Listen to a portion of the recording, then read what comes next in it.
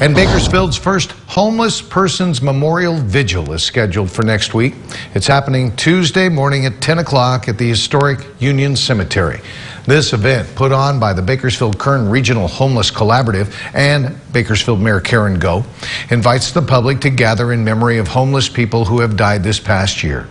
Organizers say it's important to take a moment to acknowledge those we have lost and realized the relationship between lack of housing and increased mortality rates, with homeless people three to four times more likely to die than the general population during any given year.